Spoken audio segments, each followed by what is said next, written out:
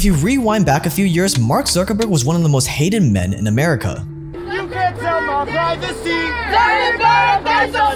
But you may be saying to yourself, who cares? He's a billionaire. I wouldn't care if people hated me as a billionaire. Aren't haters a good thing? Well, maybe a little hate is good, but when you're one of the richest public billionaires in the world like Mark Zuckerberg, if enough people hate you, they will eventually tear you down, take everything you have, and throw you in prison. And you don't have to look far to see examples of this happening. Because if you didn't know, here's how America works. In America, you have prosecutors, judges, and so on that are all elected officials. That means the only way these people can move up in their career is by pleasing the public. That means if they want more fame, if they want more status, if they want more recognition, if they want to just keep their job, they have to tear down people that the public hates. That's essentially their role in society. Their job is not to seek justice or the truth. There is no such thing as innocent until proven guilty. All of that is just an illusion in America just to make people feel like they live in a fair society. In America, if people hate you enough, these elected officials will find one way or another to throw you in prison. And newsflash, throwing anyone in prison is ridiculously easy. Why do you think we have thousands upon thousands of laws? Why do you think we live in a country where the average person commits three felonies a day? An average busy professional in this country gets up in the morning, you know, gets the kids off to school, goes to work, uses the telephone, there we go, federal offense, or email, uh, has meetings, or works on a prospectus or a bank loan or whatever. Uh, goes home, puts the kids to bed, has dinner, uh, reads the newspaper, uh, and goes to sleep, and has no idea that in the course of that day, he or she has very likely committed three felonies, uh, three felonies that some ambitious, uh, creative prosecutor uh, can pick out of that day, day's activities uh, and put into an indictment if the feds so so want. The reason why we have so many laws is that so you can be taken down at a moment's notice if it serves the powers that be. Now put yourself in the shoes of a billionaire, and you'll see the problem that Mark Zuckerberg has. Think about all the prosecutors, the judges, the senators, the congressmen that are just salivating at the mouth for an opportunity to be the hero that takes down this evil villain.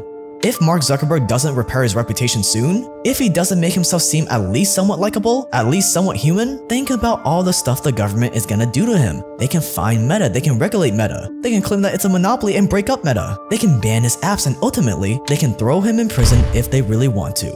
Here's what everybody's been trying to tell you. I say this gently. Your user agreement sucks.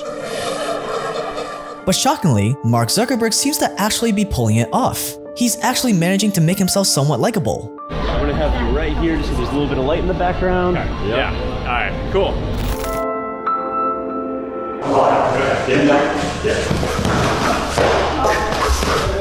He says when he looks at the four of he's boxing heavy.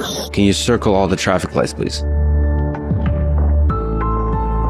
You actually did it. That is very impressive performance. See, Bill Gates had the same problem. He was once the most hated man in America in the 90s, except he fixed it by making himself look like a generous philanthropist that we talked about in this video. Mark Zuckerberg seems to be taking a different approach, and it looks like it's working even better than good old Billy Gates.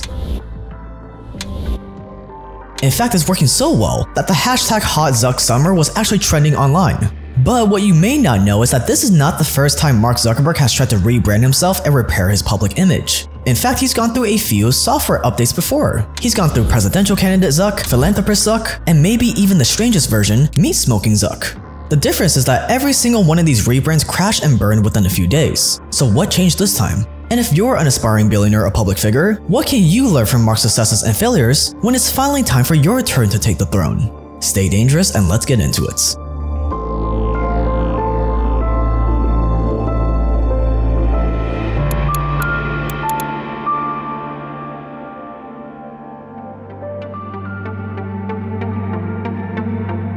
One of the ways Mark Zuckerberg continues to grow his wealth is by investing into private companies. He does this through his family office called Iconiq Capital. The benefit of investing into private companies is that you get in at a lower price before they potentially IPO or get acquired. And this is pretty much what all rich people do. But the problem is, traditionally, to invest into private companies, you need to put a lot of money into a private equity firm where they have super high minimums of at least a few hundred thousand dollars, your money is locked in there for years, and you pay insane fees. But not anymore thanks to Linqto, today's paid sponsor. With Linqto, you can buy pre-IPO shares from companies like Epic Games, Whoop, the AI company Lambda, and much more, all in the click of a few buttons on their easy-to-use platform, with no brokerage fees, no management fees, no administrative fees, no carried interest, their investment minimum is super low, and on top of that, you can even list your shares for sale on their platform if you want to sell. They've got a ton of companies you can research and choose from, from AI to blockchain to quantum computing to robotics to even space exploration companies. Signing up is super fast and easy, and for a limited time, you can get $500 off your first investment by using my promo code JakeTran500 with the link below. This offer ends soon, so if you're serious about building a private equity portfolio, now is your chance to get started with $500 off your first investment just by clicking the link below and using promo code JakeTran500 at checkouts. Now back to the video.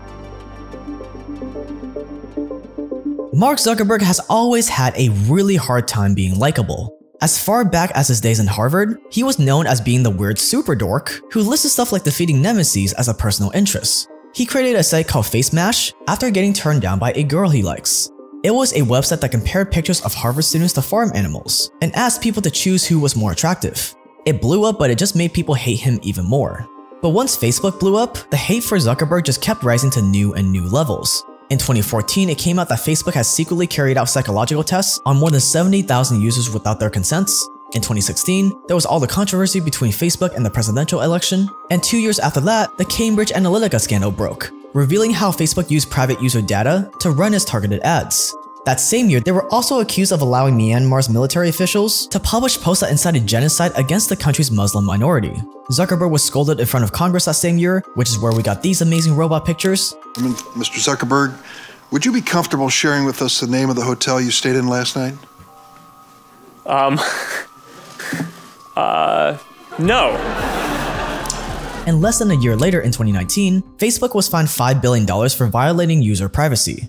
And as Facebook's founder and CEO, Zuckerberg looked like the genius behind every single one of these scandals. So needless to say, there were many reasons to hate him. On top of that, the stuff he does in his private life doesn't help either. Like the time he went surfing with a face caked in sunscreen to avoid the paparazzi, or the time he sued native Hawaiian families to force them into selling their land to him at auction, also that he can build a massive mansion and an underground doomsday bunker that he barely ever uses. It also doesn't help that he would turn into a sweaty, incoherent mess every time someone asked him a difficult question in public. It's like the guy just wanted to be hated. But in reality, Zuckerberg probably couldn't help acting like this awkward robot. After all, you don't just build Facebook by being a normal human being.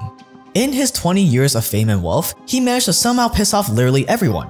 And by the mid 2010s, Zuck could feel it in the air. He could feel that if he didn't change something soon, the masses would start sharpening their pitchforks and lighting their torches. And this is when we started getting introduced to the many cringy sides of Zuck.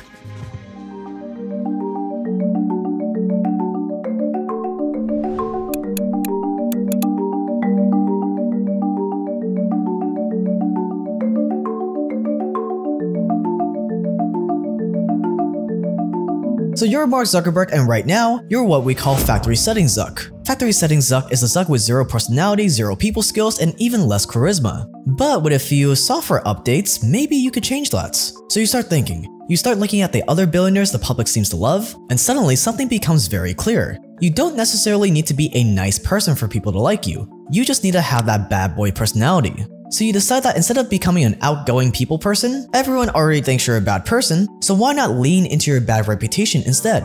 So you went all in and relaunched yourself as the new Devil May Cry Zuck.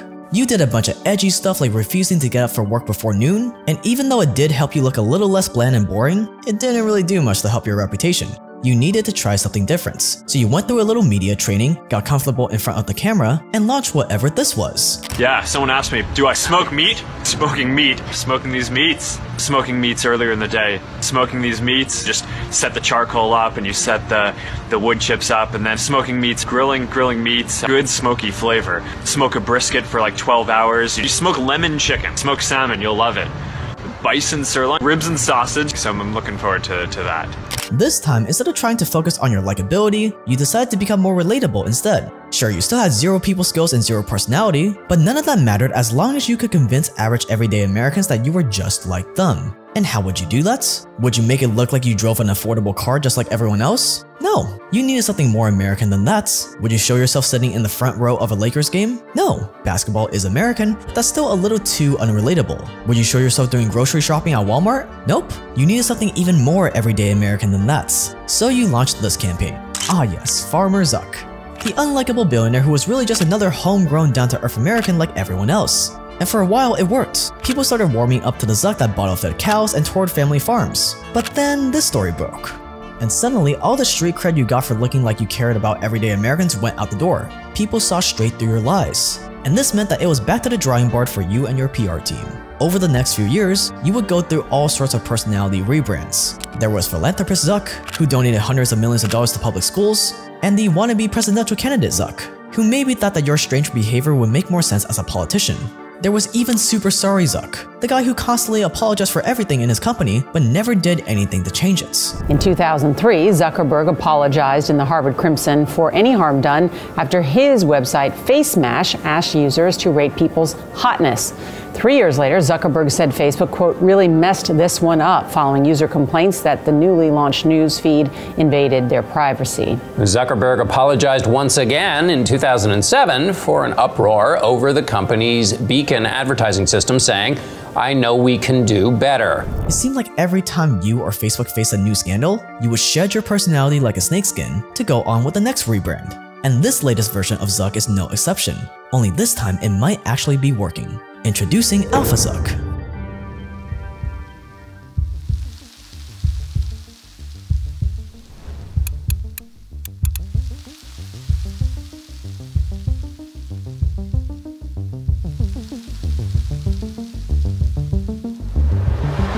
This new and improved Alpha Zuck is into extreme sports, MMA, raising cattle, and building off-the-grid homesteads for his family, ironically on the same land that he sued Native Hawaiians for. This new version of Zuck isn't afraid to get into a fight. Alpha Zuck put Elon Musk into his place by getting Musk to chicken out of their fight altogether. Zuck versus Elon Fire. No, he's checking out. What? That's uh, I don't think he's checking it out. Yeah, no, he's checking out. Do you think so? Yeah. Buck, buck, buck. Well, maybe he's buck, listening. buck, buck. Suck, suck, suck. Suck, suck, suck. AlphaZuck is getting on all the popular podcasts like Lex Fridman and Joe Rogan. And by the way, getting on popular podcasts is an extremely important tool in the billionaire's toolkit for getting the public to like you. This is because usually the only exposure billionaires get to the masses is when there's some giant scandal about them. The masses never get to see these billionaires for extended periods of time and actually get to hear them talk. That's why if you're a public-facing billionaire, crucial that you get on popular podcasts to humanize yourself. Why do you think Elon Musk has always gone on Joe Rogan? Or why Jeff Bezos just followed in Zuck's footsteps and got on the Lex Fridman podcast as well? Or why the Pfizer CEO also got on the Lex Fridman podcast? When you spend an hour or two watching someone express themselves and their fears and insecurities and opinions, even if they're awkward and don't do well on camera, unless they severely, severely mess up, it's kinda hard for you not to like them or at least see them as human. AlphaZuck is also the MMA bro who doesn't watch TV because it puts him into a beta state. But the biggest difference between this Zuck and all the other versions before him isn't just that he's getting ripped and doing cool stuff. It's the fact that it seems like he finally stopped trying so hard to get everyone to like him. Or at least that's what it seems.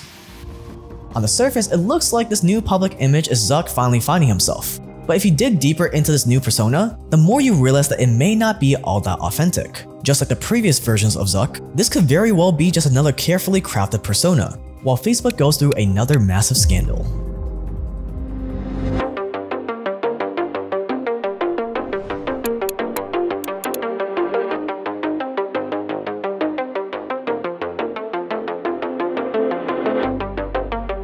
Look at all the traits that make this new Zuckerberg different from factory setting Zuck. He's confident and outspoken, he's showing off his masculinity and feats of strength, he's being controversial by picking fights with fellow tech CEOs like Elon Musk, he's building homesteads and raising cattle, he's telling everyone that TV is turning their brains into mush. Take away the fact that he's Mark Zuckerberg, and this just sounds like the exact playbook of every top G Chad on the internet right now. And that's probably where the reality of Zuck's new public image lies. He is just following the trend. Right now, stuff like health, masculinity, traditional lifestyles, and creating controversy are all blowing up online. And this new Zuck is taking off every single one of those boxes, like a more tame version of Andrew Tate mixed with Liver King. And hey, if it's true that Zuckerberg is finally coming into his own and finding his stride in life, more power to him. He does look genuinely more happy than ever before. But let's not forget, while everyone is distracted with this new likable version of Zuck, Here's some information from a whistleblower who came before the Senate, testified under oath in public. He worked for you. It's a senior executive. So, for example, this is girls between the ages of 13 and 15 years old. 37% of them reported that they had been exposed to nudity on the platform unwanted in the last seven days. 24% said that they had experienced unwanted sexual advances they'd been propositioned in the last seven days. 17% said they had encountered self harm content pushed at them in the last seven days. That's right. At the same time, Facebook and Instagram are getting caught up in another huge scandal. This time, they're accused of pushing child predators onto underage users. But who's gonna talk about that while they can talk about Zuckerberg's walkout at the UFC instead? So is this new version of Zuck just another carefully crafted PR campaign? I mean, he's clearly putting in a lot of effort into this new image. Just look at all his carefully crafted Instagram posts. When you're as powerful as him, none of these posts are just by accident or casual. Each of them is perfectly curated to show a new aspect of his personality. But again, on the other hand, Zuck does seem genuinely happier and more authentic than he's ever been. Maybe he's finally embracing his masculinity. If I had to guess, it's probably a mix of both, which is probably why it's actually working this time. So what is the lesson you can learn from this if you have plans on being a big public figure? Well, once you're in that position where everyone is waiting to tear you down, you gotta tone down that hatred by humanizing yourself.